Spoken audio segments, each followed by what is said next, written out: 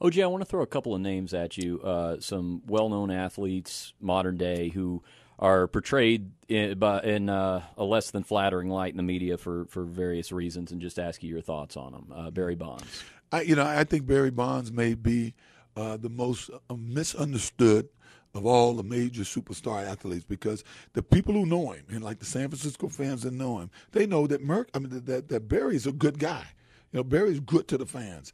What Barry's problem is, he hates the media. The media's have burned him, and uh, I don't know if he if it's his fault he didn't handle it well in the beginning, but he's developed this antagonistic thing with the media, and it's the media that try, that portrays him to everybody else. And unless he one day decides to do a show like I did on MN1 mm-hmm. uh, and, and talk to the public about his feelings, uh, but the, Barry has always been good to the public. Barry's uh, got a good heart. He's a nice guy. You, when you see him talk, he's a nice guy. His problem is the media. And since he has a problem with the media, they portray him as a bad guy.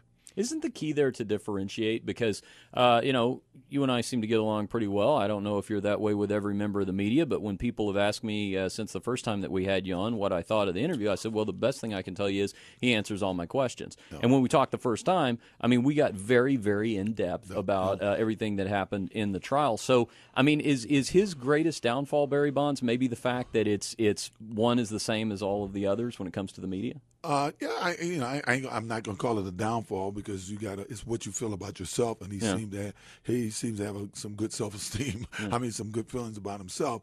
Uh, but yeah, maybe that is a problem because uh, you know that old saying that you shouldn't let one apple, one bad apple, ruin mm. the whole barrel. Uh, but in his case, I think it has. His earlier experiences, negative experiences in Pittsburgh, I think with the media, has uh, he sees them all is well all in one one cloth. You know. Jose Canseco.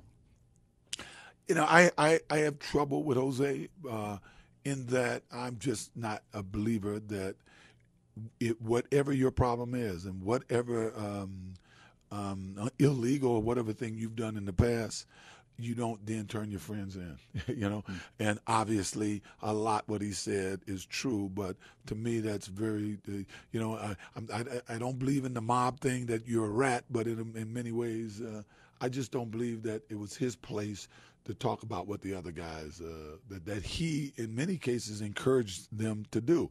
It wasn't like he was in court and had that's you know it was a, a, a had a trial that was going to keep him out of jail. He did it for money. He did it for profit. Now, if he was in court and they asked him the questions about this guy, this guy, and this guy, I guess he would have had to have told. But it wasn't under those uh, circumstances. It was under uh, let me make some money by selling out these uh, guys who I guess at some point was his friends. And, and Michael Vick. Well, you know, I mean, I'm I, I can't tell you how I feel now because I'm I'm too wrapped up about him personally mm-hmm. because I don't know Michael, but I'm too wrapped up in the fact that I, I, I feel strongly that he's uh, he's he, this is America and he's not getting uh, due process. I think the media has already convicted this man.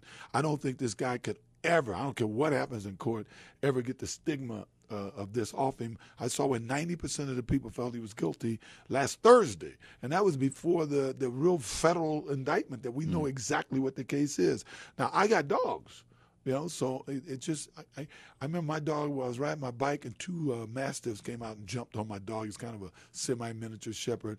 And it was like they were jumping on my kid. Right. So I can't imagine a dog fighting. It's hard for me to see him. I, I, I know early on the story was like he, he, has houses that he bought for his families to use, and I know dogfighting is prevalent, prolific all over the United States. So I mean, some things are cultural, and he I, I can I can even see him if he grew up with it, going to dog fights. I read a thing that in Georgia, even though this is Virginia, it's not illegal to go to dog fights. It also is not illegal to raise fighting dogs, but it's illegal to fight them in the state of Georgia.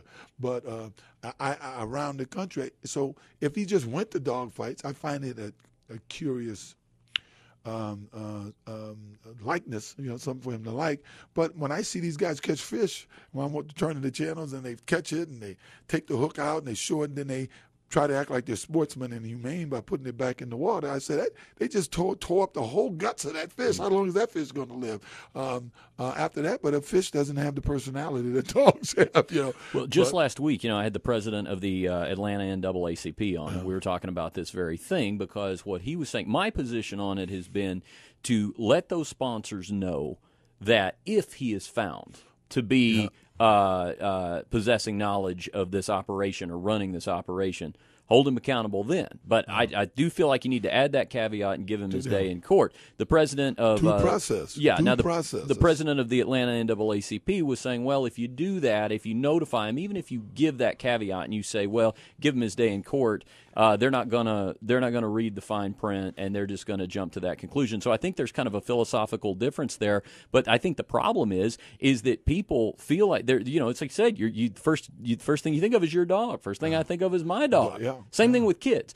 I mean, and you know what? Somebody said to me recently. They said, uh, you know, so our American society will forgive all but two things: crimes against children and crimes against animals, Yeah, because of that innocence. Well, I mean, I, I as I said, those first couple of days, he didn't seem to have any support. Mm-hmm. Even I, in my Bronco ride, even I on my acquittal, if you saw sunset and the overpasses, the vast majority of those people were cheering. Mm-hmm. You know, I saw nobody cheering for him, so I was kind of glad that you know there's a group of people that that came out today uh, uh, there to support him. But I support due process, and uh, to me, if there was ever a case that uh, has uh, been been so tainted so early that due process may be impossible. Finding a jury uh, uh, that's not influenced by what they already know or already heard is this